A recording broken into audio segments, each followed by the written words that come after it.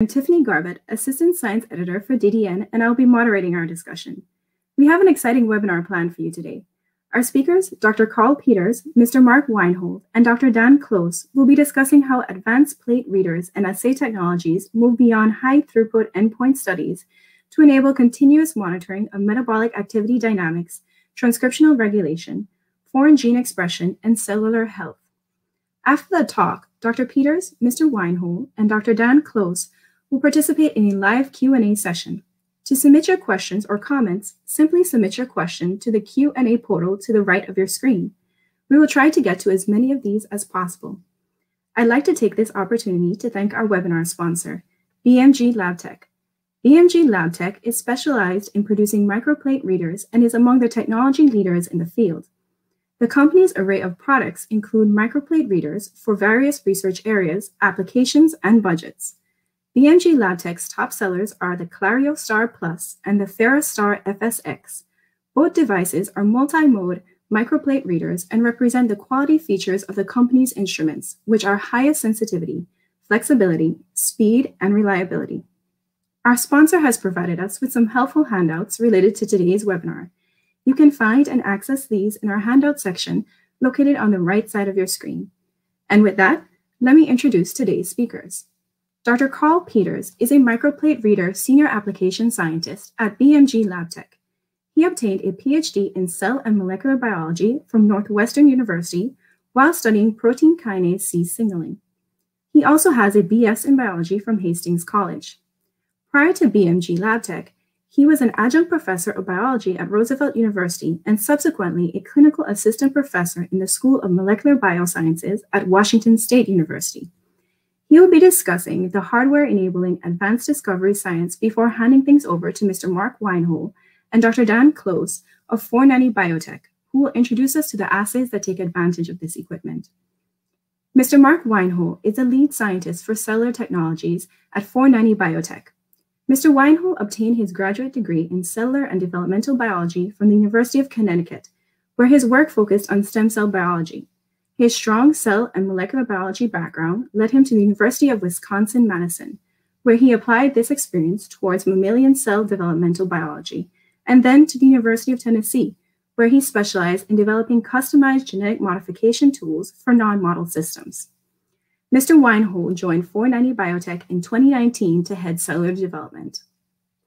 Dr. Dan Close is the Chief Scientific Officer of 490 Biotech, a biotechnology company focused on developing autonomously bioluminescent assay solutions that function without luciferin treatment to continuously provide real-time data output. Dr. Close obtained his doctorate in genome science and technology from the University of Tennessee before serving as a postdoctoral research associate for the Joint Institute of Biological Sciences at Oak Ridge National Laboratory.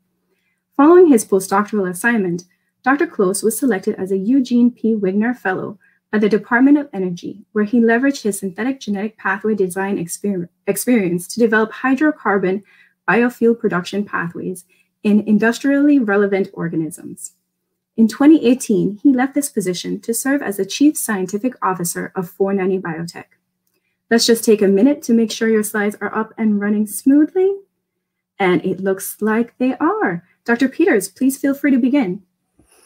Thank you, Tiffany. Um, it is really a pleasure to get a chance to speak you to speak to you today, um, and to tell you a little bit about the advanced plate readers that are able to be employed in the use of uh, live cells for continuous output readings that give you real-time data and really give you um, just more information from the experiments that you're able to perform.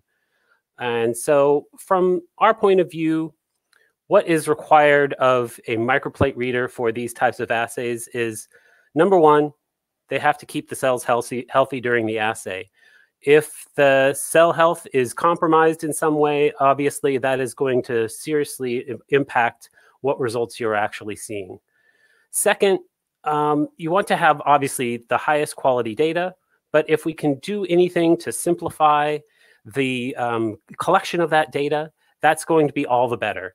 And finally, if you can combine all of these things with useful data analysis, that will really streamline your approach and take you from beginning to end, from the very start of the assay to the, the data output and data analysis. That's going to provide you with a solution that's going to make the production of this data um, just seamless. So how do you keep cells healthy? Um, so the first thing that you need to need to consider is obviously most uh, most cells are going to be happy in particular environments, uh, and that starts with temperature. But temperature control is quite standard on most readers, and it certainly is on all BMG readers to be able to regulate temperatures up to 45 degrees C. Um, what can be added, though, especially to the Clariostar Plus, is an atmospheric control capability. And this allows you to actively regulate the atmospheric conditions inside of the reader so that the prop appropriate carbon dioxide and oxygen levels are actually maintained within the reader. And in addition to just keeping cells healthy, we actually have the ability to um, kind of modify the environment and see what effect that that ha actually has on the cells as well. Similarly, you can do the same with, with temperature control and see if stressing the cells with temperature um, has any effect on the cell health or the output that, it, that you're looking at. And so what all of these things put together means is you can have real-time assessment of cells for their metabolism, their proliferation, basically the things that in indicate how healthy and um, viable and active a cell is at any particular time. So now let's move on to collection of high quality data. So with the, you want to be able to collect data as simply as possible. And um, usually this employ this can be um, it, done in a number of ways, but you want to be able to very sensitively de perform detection. And that's especially important when you have cells that um, you know are are oftentimes a uh, a not a not a distraction, but are uh, are are, are going to have lead to uh, background issues and things of that nature. So the more sensitively you can actually detect the signal that is being produced, the better off you're going to be. And with that in mind, uh, BMG with the Clariostar readers introduced linear variable filter monochromators, uh, the most sensitive monochromator that is available due to the ability to have the highest transmission of light possible and what you're really doing is essentially building a filter-like performance within the monochromator. And this allows you to have very high sensitivity and adjust the wavelengths and the band passes up to 100 nanometers of band pass. And they this is proven to be also very excellent for performing scans, so excitation emission scans for fluorescence and, fluor and luminescence scans uh, for, for emission scans for luminescence. Another um, key to uh, high quality data collection is to be able to focus in on the appropriate place in the well to collect the data. This seems to be especially important uh, for cell-based assays, especially when the cells are adherent to the bottom of the well. And um, uh, our, our top-selling readers, uh, the Clariostar and the Pherastar, um, have very sensitive uh, Z-height focus and um, that allows you to focus with a, a 0.1 millimeter resolution. And this really improves the sensitivity that you're able to attain from the top and the bottom. And as I said, uh, adherent cells um, are obviously going to be at the bottom of the well. So sometimes reading from the bottom is actually the most appropriate approach uh, for adherent type cells. Also with cellular cells, um, you cannot be 100% um, confident that one, the cells are going to be confluent and therefore spread out throughout the cells, but also the signal could vary from, from place to place throughout the cell. And so as a result of that, to enhance cell-based assays, we provide a number of well scanning options uh, two that are, um, uh, are, are going to pro provide an average of what is happening in the well, that being orbital averaging and spiral averaging. But we also um, offer the ability to perform a matrix scan. And this allows you to have up to 900 data points per well and can actually allow you to localize where uh, cells are, are, are living and growing within the bottom of the well. We have also stepped up uh, uh, the ability to um, use red shifted fluorophores. Um, so the Clariostar Plus is now available with separate detectors for fluorescence and for luminescence. Um, and what this allows us to do is to look at uh, further and further red shifted fluorophores. And that's quite important for cell-based assays uh, to, get to try and get away from some of the competing uh, fluorescence that is usually in the more green range um, of the spectrum. Um, so with this combination, you're able to do this far red fluorescence, but also have the consistent um, low noise luminescent detection that you uh, have come to expect. And really, this just means that you can perform any assay at any wavelength and be very uh, confident in the performance that you're getting from your reader. Another um, advancement with the Clariostar Plus that has made especially performance of these types of assays even easier is uh, the use of the, the capability that we call enhanced dynamic range. And this one leads to a, an expansion of the uh, luminescence and fluorescent range that you can actually see. So up to uh, eight decades of detection in one in one reading. And um, in addition, uh, to provide more ease of use, there's uh, less need to optimize the, the, detection settings. And this is especially useful in a kinetic assay where the signal is changing, um, especially increasing over time um, you have less of a chance that you're going to get signals that are out of range um, if you're using this enhanced dynamic range capability. And uh, you know, comes this comes together to provide uh, the industry-leading sensitivity that we see with the Clariostar Plus. Um, another capability that we have uh, have had available for actually quite some time is to uh, the ability to perform multiplexing in assays. And so we have always, we've for a very long time have had scripting capability, but we've continued to improve it and um, to make it more user friendly.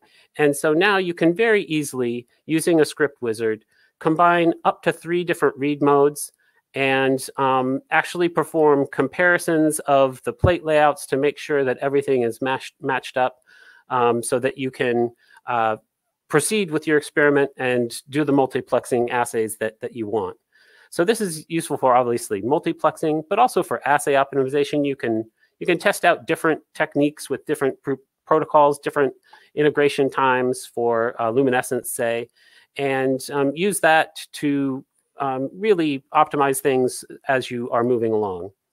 Um, with the scripting capability, there's also the ability to change temperature but also change the, the CO2 and O2, the carbon dioxide and uh, oxygen within the reader. So those capabilities that we were talking about with the ACU to uh, try and um, modify the environment and see what effect that has, those things can all be worked into a script that uh, will allow you to walk away and, and, and see what happens um, the, the next day or two. Okay, so the final uh, kind of piece of the puzzle that would make this uh, uh, as complete of a package as possible is to have uh, useful data analysis tools. And BMG LabTech has our microplate analysis and reduction software, or MARS, that provides just I mean, just a, a plethora of, of different capabilities that will allow you to view and analyze your data, but also um, change the layout so that you can specify different groups um, and to create standard curves or perform bar charts. Um, there's just really a, a, a, large number of capabilities that are that are built in. Um, most of the statistical analyses that you would want to perform, a number of different fit curves that can be applied. Um, also, uh, assay quality parameters such as Z prime and signal to blank all of these things are included and really many, many more. And eh, further included is the ability to actually create your own uh, your own user-defined formulas. So if there's something that we don't don't currently have, you can start to build in uh, the, uh, the the things that you really need uh, for based on uh, your your personal uh, data analysis needs.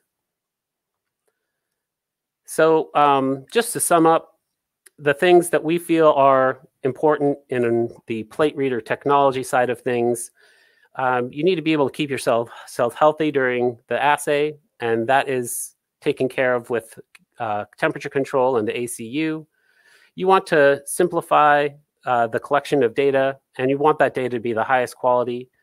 And so sensitivity is um, obtained with our LV, LVF monochromator, uh, sensitive Z height focus, dedicated detectors, and um, enhanced dynamic range. And the uh, cell, cell-based capabilities are further enhanced through well scanning and the ability to uh, to really uh, multiplex things is uh, incorporated with the script mode. And finally, as we just saw, the the the Mars data analysis package is um, just a, a really valuable tool that will allow you to take your your data your data analysis and um, discovery to the next level. So um, just in closing, uh, I would like to to share uh, this this kind of uh, closing slide. So BMG has been around for for 30, 30 years, and as our tagline say, says, we are the microplate microplate reader company. Um, and to that, to that, to us, that means that we are really focused on creating the best instruments and you know really allowing the scientists to mac maximize uh, what they are able to do. So um, with that, I will now pass things along to to uh, Mark and Dan at 490, and um, they're going to talk more now about the advanced assay technologies that are uh, available and how those have been implemented with uh, with the BMG readers. Oops. All right, excellent. You know, thank you, Carl. That was a, a really good overview of the hardware capabilities that BMG's machines have. Um, now, I would like to welcome everybody to part two of our presentation, where we'll discuss the types of real-time assays and applications that can leverage that hardware to create advanced discovery workflows. Uh, so, to get started, I'd like to just quickly introduce myself and my co-host for this part of today's presentation. I'm Dan Close, Chief Scientific Officer for 490 Biotech. Joining me is Mark Wienhold, our lead scientist for cellular technologies. Hello. Now, for those of you that may not be familiar with 490 Biotech, we develop continuously bioluminescent cellular technologies, which is a fancy way of saying that we spend our days finding new and improved ways to make cells glow so that you can get more information from the assays you're already using. Now, because 490 is heavily invested in assay development R&D, we have a ton of experience pushing the capabilities of BMG's plate readers. So this puts us in a great position to discuss how you can use them to expand your lab's capabilities as well. So before we get too in depth, uh, I want to just take a moment and make sure we're all on the same page about what it means for an assay to be real time. For us, this means meeting three pretty straightforward criteria. Number one, that cells remain healthy and viable throughout the assay. Number two, uh, that kinetic data can be recorded repeatedly or continuously from the same samples. And you know, I'd like to point out that this can be on any time scale. You know, whether you're incubating cells in the plate reader between readings with sub-second resolution, or if you're returning them to the incubator for daily time points, you know, just so long as the cells don't stop reporting on your target of interest. And finally, uh, that additional tests can be performed on the samples either during or after the assay.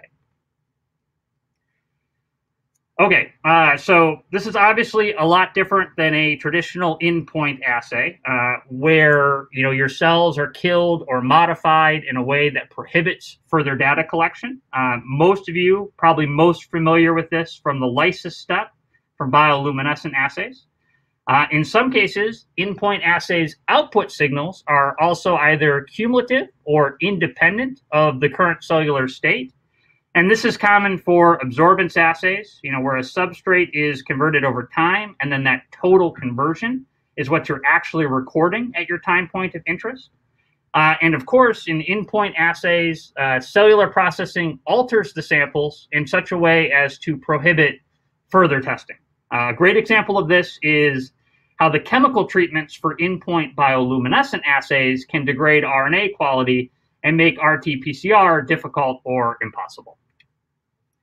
So, you know, I think it's pretty easy to see that uh, real-time assays have some pretty significant advantages. But for those of you who may be learning about them for the first time, I'm sure the first question that comes to mind is, when do I actually want to use these? Um, you know, since we manufacture them, I'm tempted to say always. Um, but the real answer is that real-time assays tend to work best in the following situations.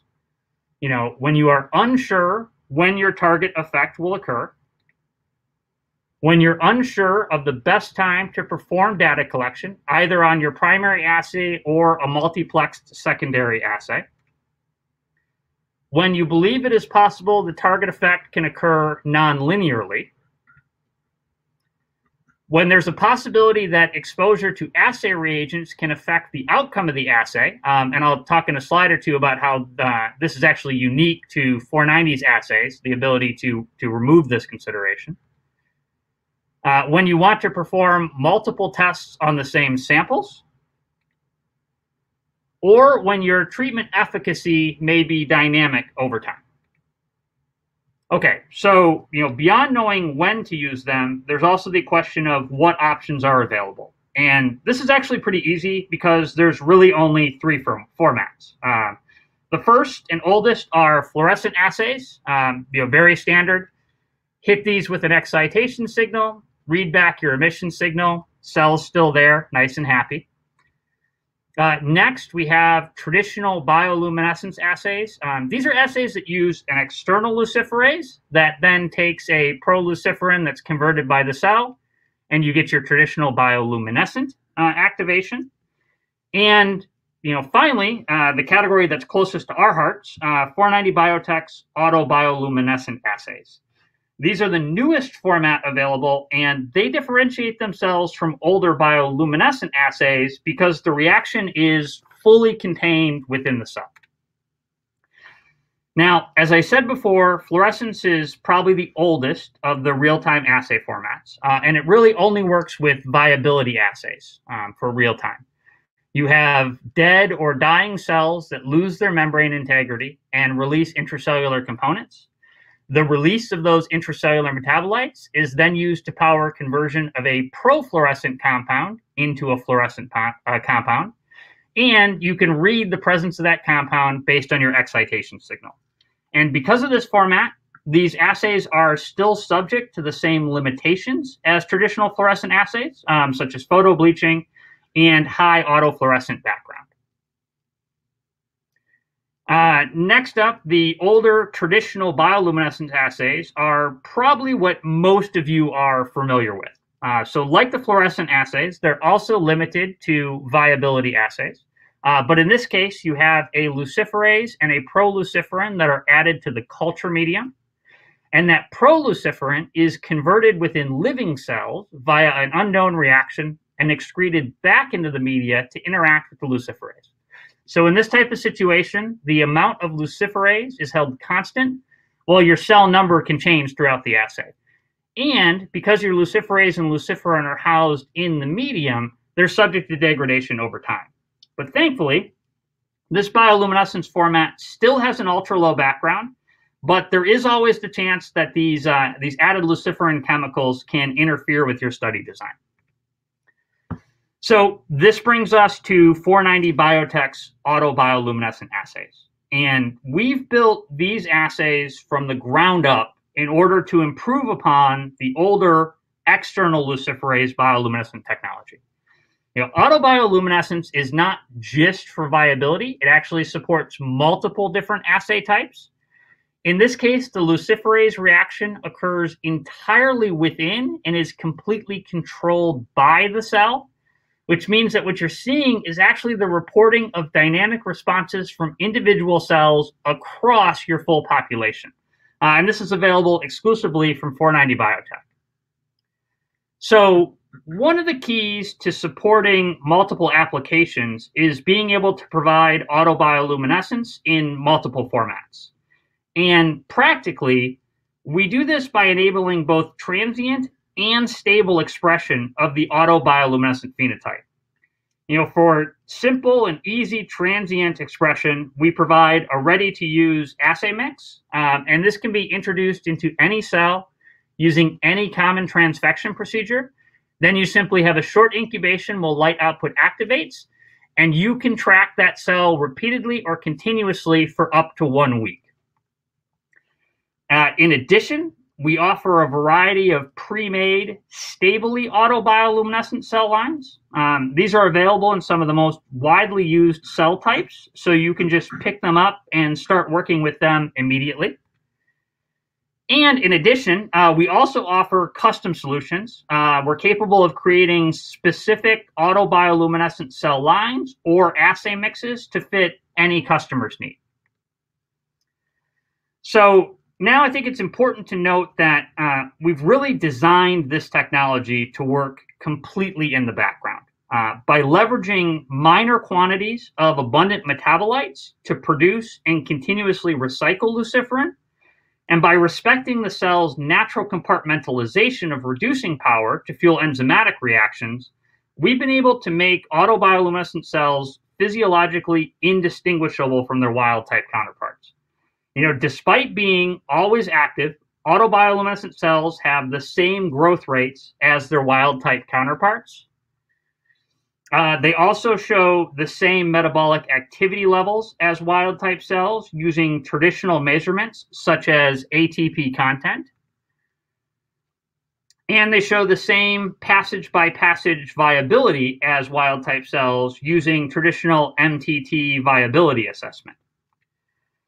In fact, uh, they don't really just perform the same as traditional endpoint assays. They often work even better. Uh, a great example of this is in 3D culture formats, where the use of autobioluminescence results in significantly better correlations between three-dimensional object size and light output than can be obtained using externally stimulated bioluminescence systems.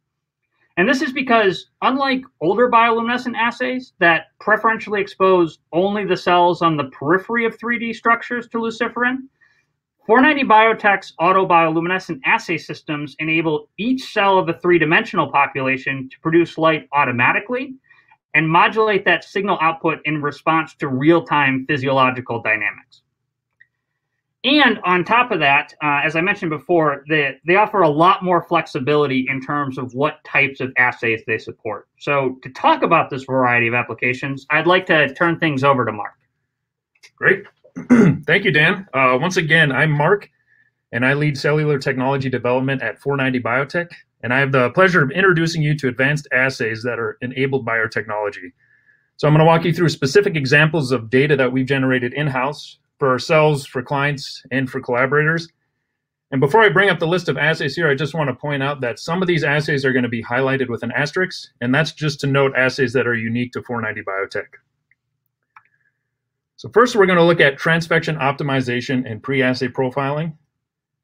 Then we'll move on to real-time metabolic activity and toxicity monitoring, followed by chronic exposure adaptation and viability monitoring, target monitoring within a mixed consortia, transcriptional activity monitoring, and finally, we'll look at multiplexed assays.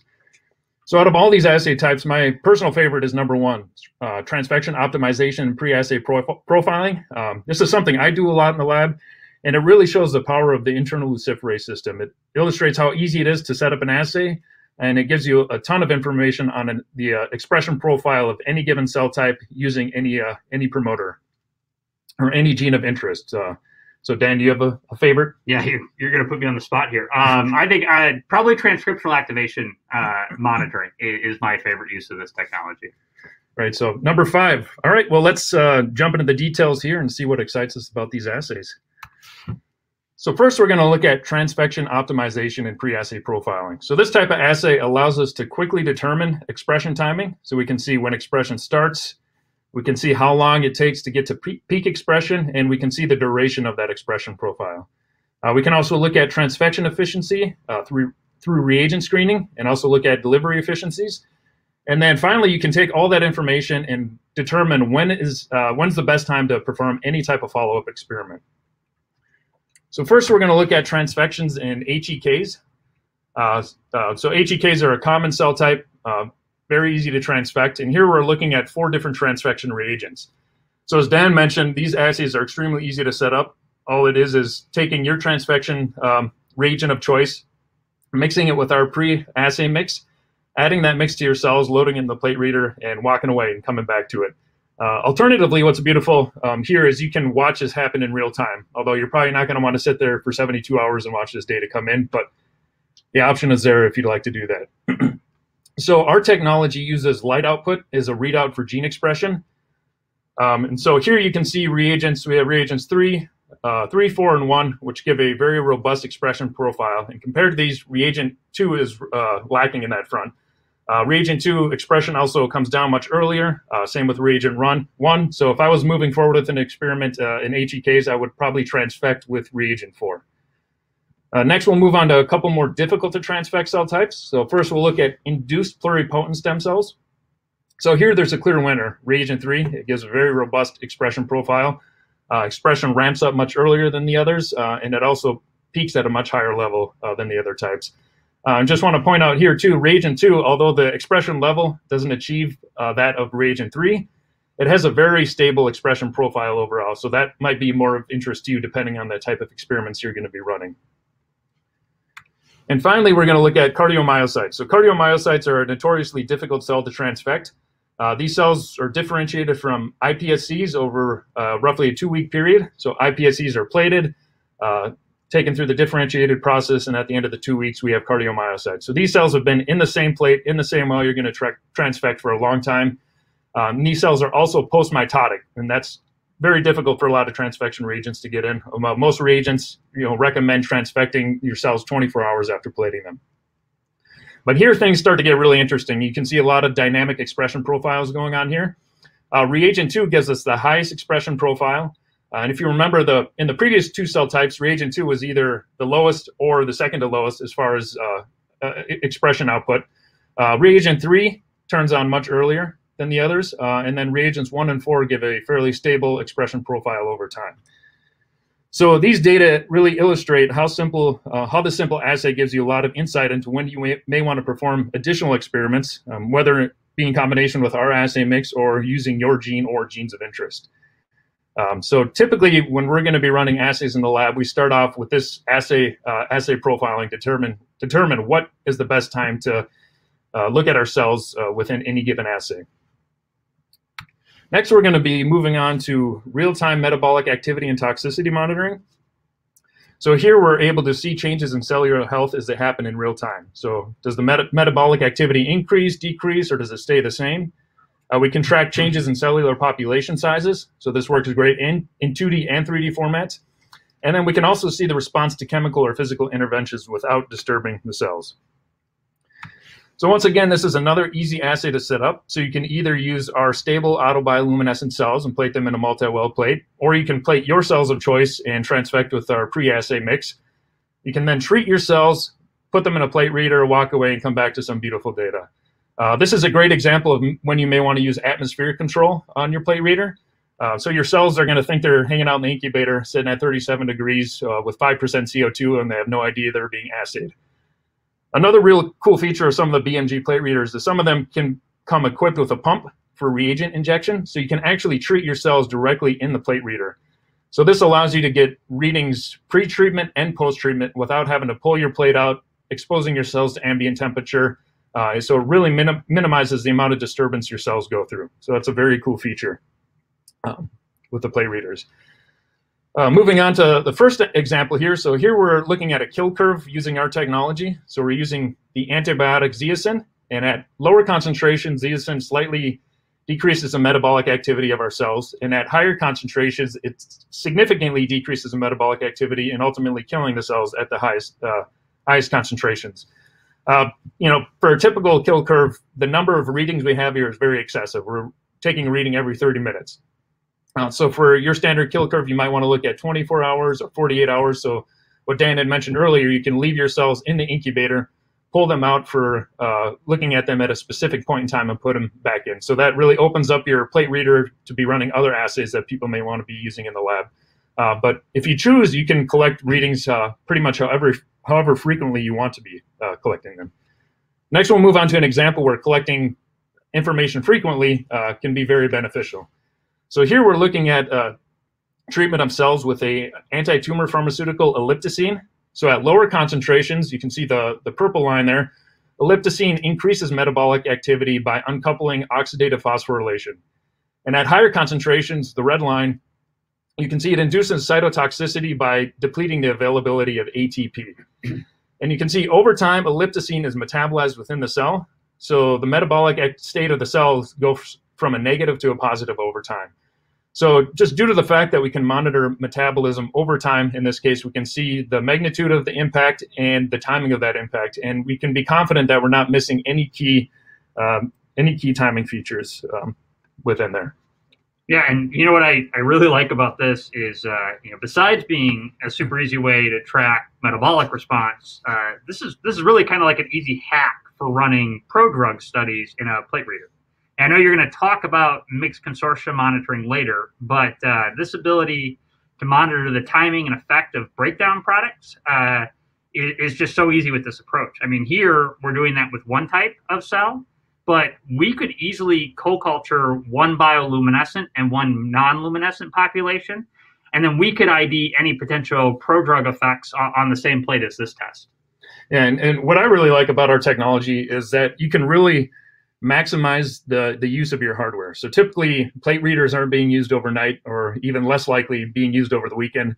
And personally, I'm almost always running assays during those times, and it leaves the plate reader open during the day when uh, people are here for running other types of assays.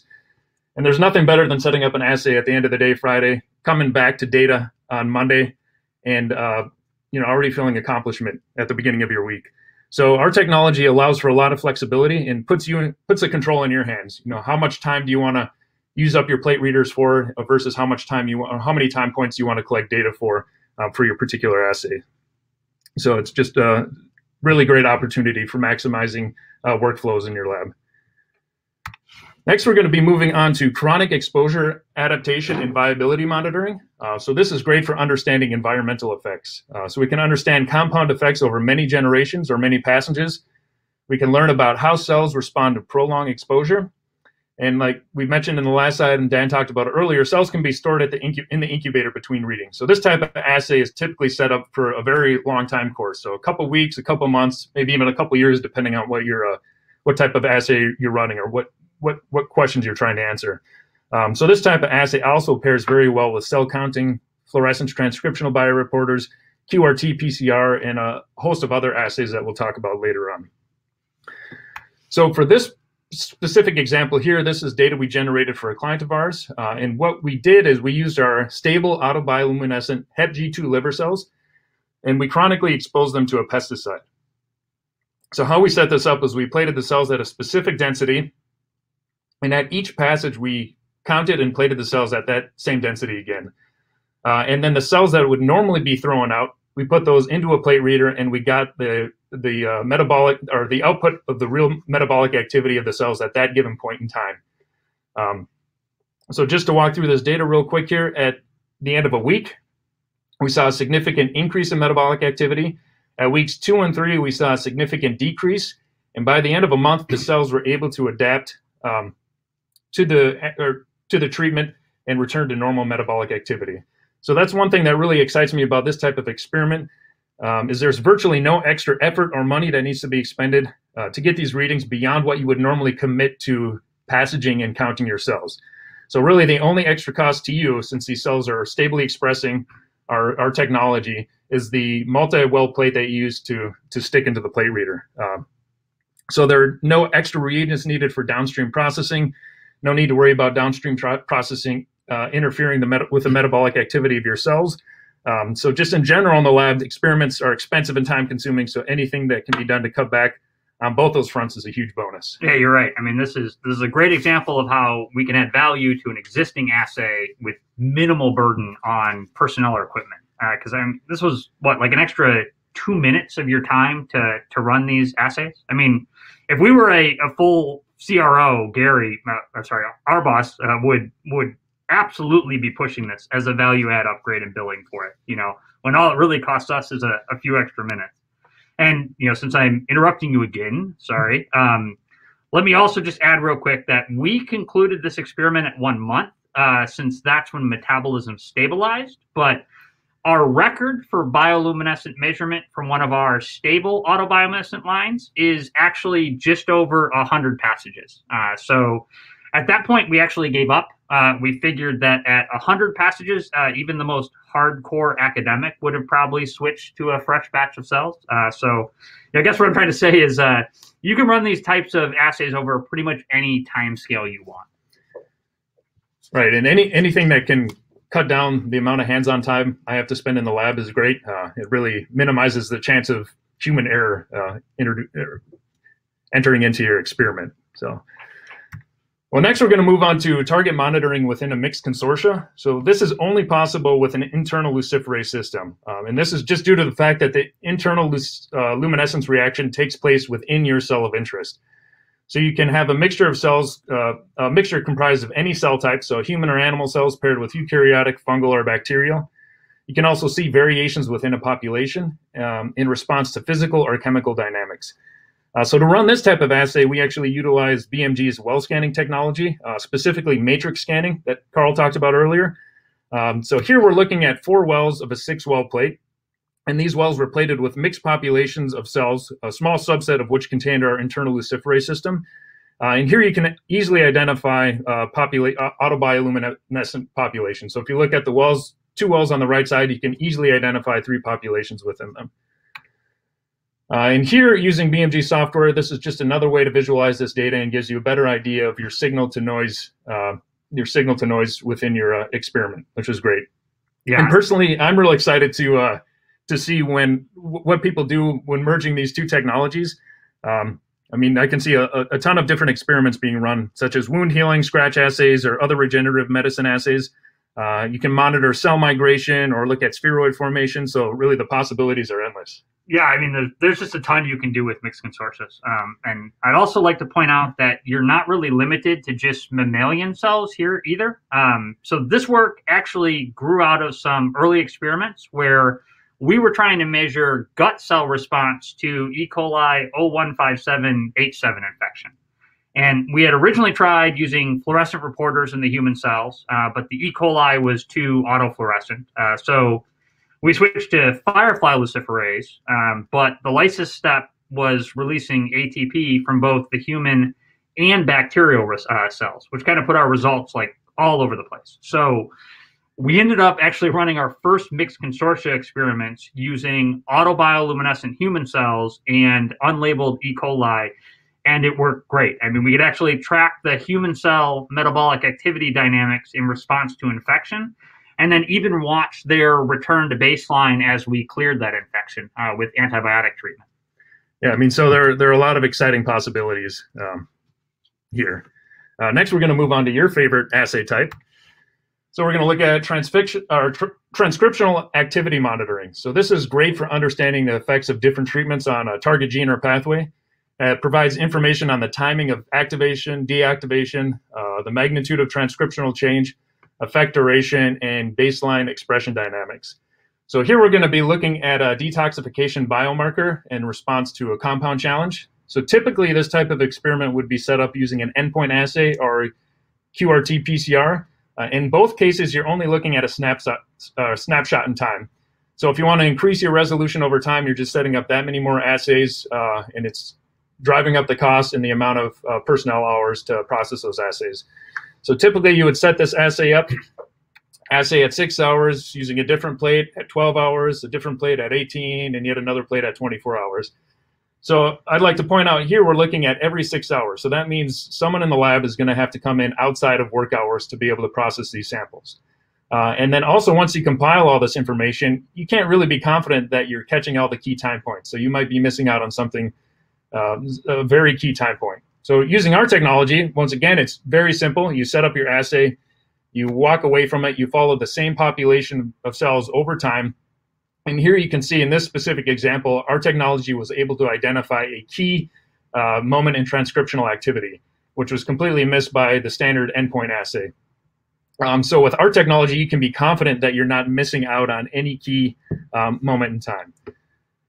Uh, for the next next example, we're going to be looking at NF-kappa B activation in response to doxorubicin challenge. So here, these cells were transiently, transiently transfected with our technology, uh, treated with doxorubicin, and here we can see identify the point when induction takes place, the magnitude of that induction, and when the signal begins to fade. So this looks similar to a lot of the pre-assay uh, transfections that we were doing before. It gives you a beautiful profile, and you're able to go in and and assay your your population at a specific point in time, um, whatever whatever your research interest um, are looking for. Yeah, and uh, like I said before, this is definitely my favorite application for our technology. Uh, you know, I remember as a graduate student just running tons of QRTs. I mean, I I didn't want to think about how much I must have cost my PI. I would be in there at random hours, harvesting cells, hoping I was catching the exact time point that I needed for transcriptional activation. And now I would just hit them with a custom assay mix for my gene of interest, toss them in our Clariostar, and call it a day. You know, maybe that's just a sign that I'm getting too old to be a good bench scientist, but uh, I'm, I'm not going back to the old way again.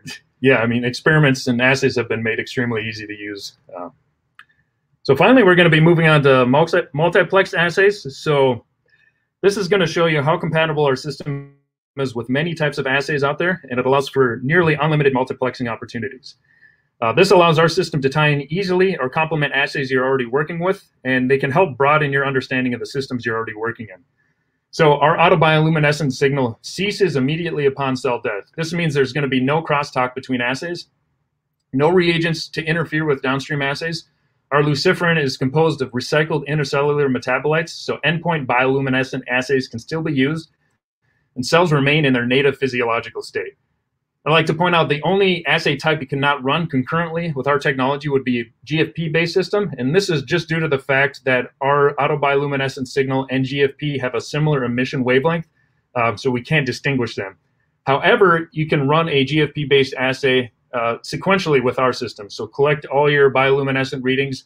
Once the cells are harvested and processed for downstream assay, our, our signal is gone and you're able to look at the GFP freely.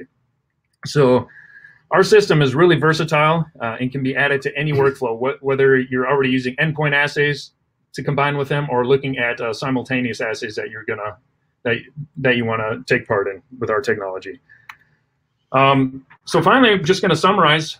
Um, we have at 490 Bio, our 490 Biotech's internal luciferase-based real-time approaches significantly enhance the amount of data you can obtain from a reader uh, plate reader-based system Transfection-based assays and stable, continuously bioluminescent cells offer flexibility for a variety of applications. Multiple real-time assay formats are available to meet the needs of different labs. Real-time approaches can replace most common endpoint assays and are especially well-suited for early-stage R&D. Uh, and pairing high data output assay with the right equipment is essential for developing a complete understanding of the system you're working with. So please don't be afraid to reach out to us if you're new to real-time assays or if you have any questions about how to use them in your work. Uh, that's it for me. I'm going to kick it back over to Dan to close us out. Great, thanks, Mark. Um, you know, and again, thanks to Carl from BMG. Thanks to DDN for hosting us, and of course, a big thank you to everyone who took the time to learn from us today. Um, I know we're just about to open things up for questions, but before we close, uh, I just want to reiterate what Mark said. You know, we've spent years pushing the limits of BMG's plate readers. And besides being super impressed with them, uh, we really have learned a ton about what they can do. So if you have any questions about how to really leverage the capabilities of this equipment, uh, and of course, if you have any questions about 490 Biotech's autobioluminescent technology and you don't get a chance to ask them today, please feel free to reach out later. Uh, we're always happy to help. And with that, I'd like to just thank everyone once again, um, throw things back to Tiffany, and open us up for questions. Fantastic talk. talk. Thank you, Dr. Peters, Dr. Wienhold, and Dr. Close. The audience don't to the audience, don't forget to submit your questions for the speakers in the Q&A tab to the right of your screen. Now, in the time we have left, let's get to our listeners' questions. Our first question is for Dr. Peters.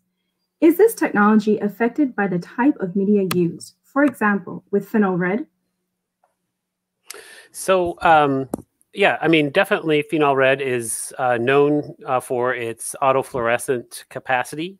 So um, any any type of fluorescent assay that is going to be in that same sort of green range um, is going to be affected by um, going to be affected by phenol red.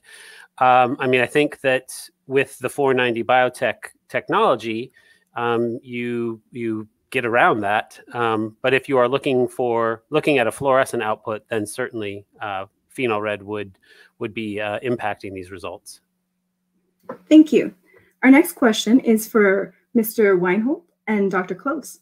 Is there a functional difference between the transient and the stable autobioluminescence? And can you speak a little bit to when one might be more applicable to experiment versus the other?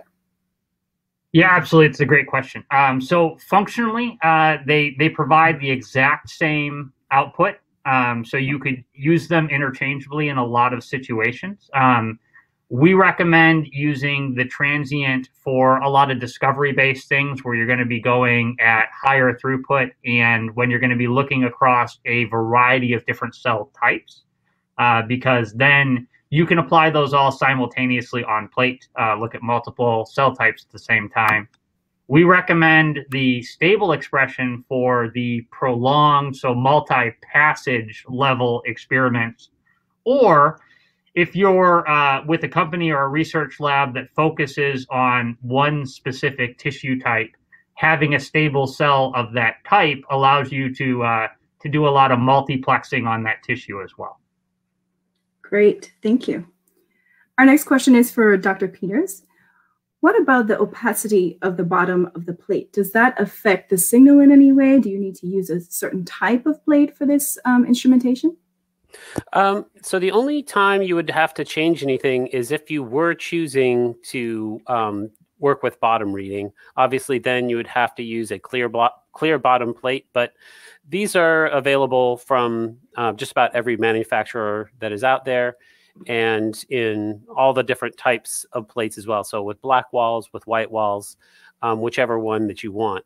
I should point out that um, I think that with our ability to perform, uh, you know, very sensitive Z height focusing, um, in a lot of uh, in a lot of experiments, reading from the top uh, is able to focus on that on those cells that are at the bottom of the well. Um, so you know, it's one of those situations where you know you kind of have to try it out to see which is uh, you know which is best for your particular assay. But yeah, certainly if you're doing bottom reading, then you need to find a, a clear bottom option. Great, but there it will work with both glass and plastic. Do is that correct? That's absolutely correct. Yeah. So um, yeah, you don't have to spend all the money for the glass bottom plates. There are a lot of high quality uh, clear plastic options out there as well. Wonderful. Thank you, Dr. Peters. Our next question is for Mr. Wienhold and Dr. Close, and I, will start with Mr. Wienhold. Are there any negative or toxic effects of the autobioluminescence? And will it work with all cell types? You, you've shown us quite a variety of cell types, but will it work for everything?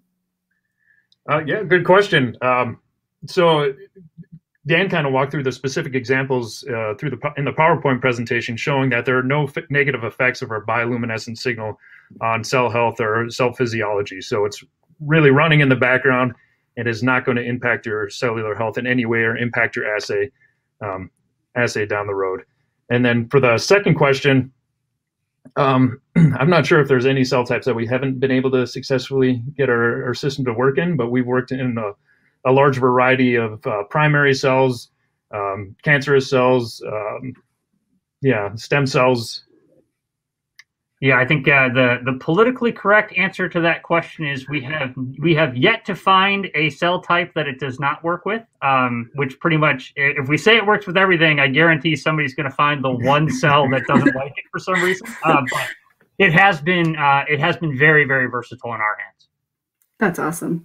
Thank you, guys. Dr. Peters, what is the maximum well plate that can be used with these readers? Um, so the maximum uh, well plate for our Pherastar is uh, three three four five six wells, so three thousand four hundred fifty six wells. Um, for the Clariostar, um, it's fifteen thirty six, um, and I, I mean I we do have some experience, even with cell-based assays in 1536 well plates. Uh, but I would, I would get, I would hazard a guess that most people aren't going to be going much over 384 for the the plate types that they would use. Great, thank you, Dr. Peters. Another one for you. Can transwell plates be reliably measured within this system as well? Yes. Um, so, I mean, it actually provides a fairly unique um, situation um, where, uh, again, with the scripting capability, you could set up an assay that was one that was reading from the bottom to uh, gather the bottom of the well, and then another reading that was taking place from the top that would actually uh, read what was was happening on the insert. And um, because of the way that the system works with the the the the, the Z height focusing, um, you know, those would be independently read, um, and you could gather information on both sides of the transwell uh, insert. Thank you. Mr. Wienhold and Dr. Close, can you speak a little bit about um, using the software for analysis in all these variety of experiments?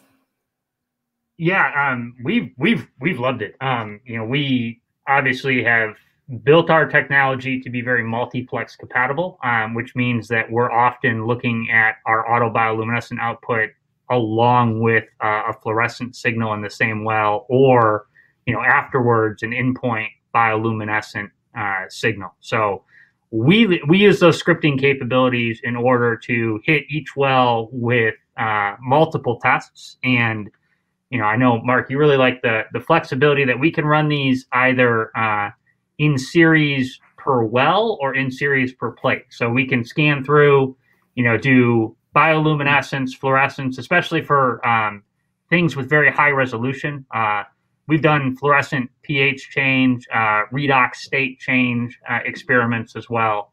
And uh, those we like to run bioluminescence immediately followed by fluorescence at a per well level. Other times, you know, you're interested in just uh, saying, okay, we're going to use bioluminescence to look at viability, and uh, we have a fluorescent reporter for our gene of interest, and then we don't care so much. Uh, you know, we'll we'll scan through a whole plate doing bioluminescence, uh, and then go back and take a, a, fluorescent gene of interest measurement.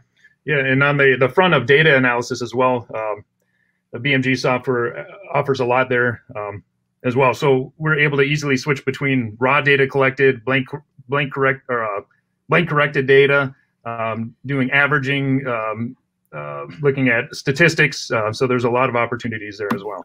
Yeah, and uh, Carl put it as one bullet point in his part of the slide, but the ability to customize, you know, your data analysis on machine and and just have it spit out, you know, ready to roll assay results. Uh, we personally thought deserved more than one bullet point, Carl. That was a, a pretty. We use that all the time.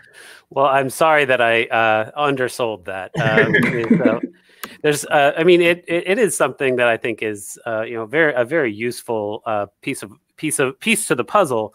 Um, but I mean, it does get overshadowed, um, you know, by you know, kind of, kind of the the higher higher, more glamorous uh, and more, I guess, instrument based uh, types of types of innovation that we've done. So right and just the ability to look at your your data coming in in real time like i'm always hopping over uh, to the Clariostar and looking at what my numbers are at so it allows a lot of flexibility there too yeah we've we've definitely stopped experiments early when we realized that we forgot to add something and we, right. have, we have no response from our treatment right. well oh wow yep. that's fantastic thank you guys so you spoke a little bit during the presentation about this, but do you at all find like that there's a point of exhaustion either in the autobioluminescence or or in how long you can perform these visualization experiments?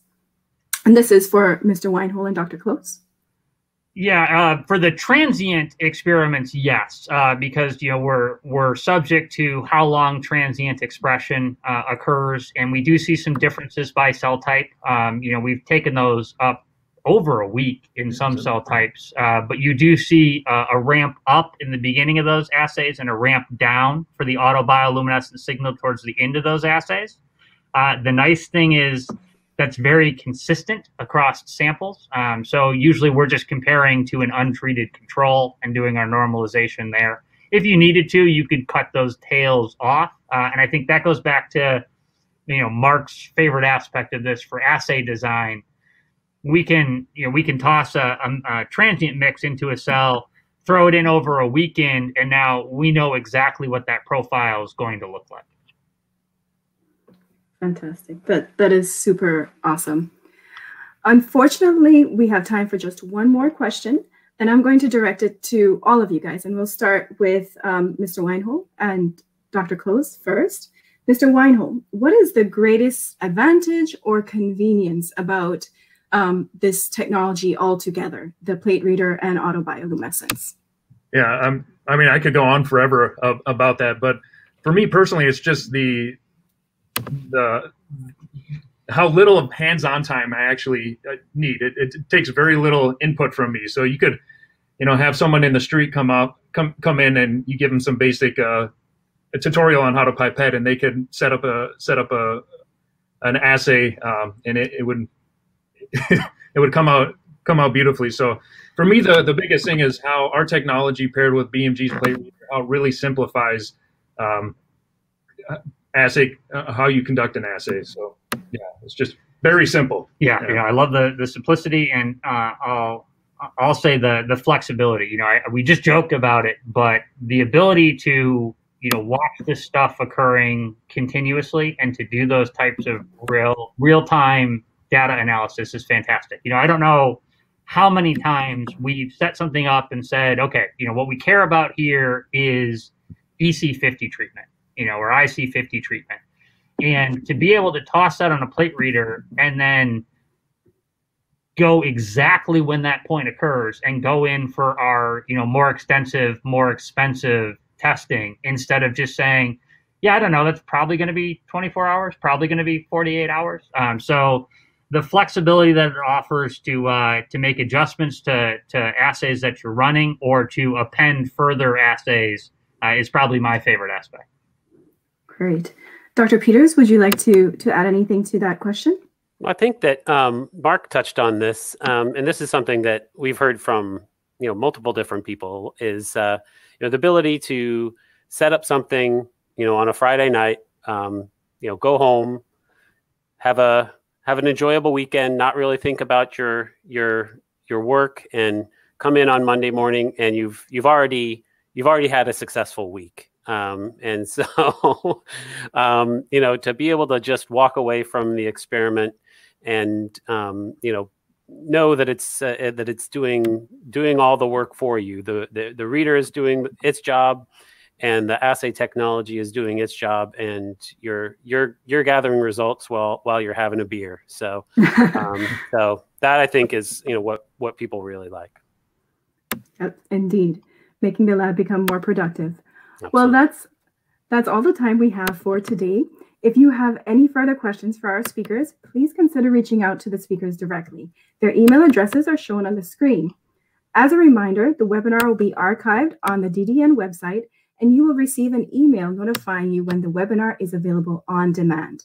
On behalf of DDN, I would like to thank our speakers, Mr. Carl, Dr. Carl Peters, Mr. Mark Wienhold, and Dr. Dan Close, as well as our sponsor, BMG LabTech, and of course, our thanks to you for listening. Goodbye, everyone, and have a great rest of your day.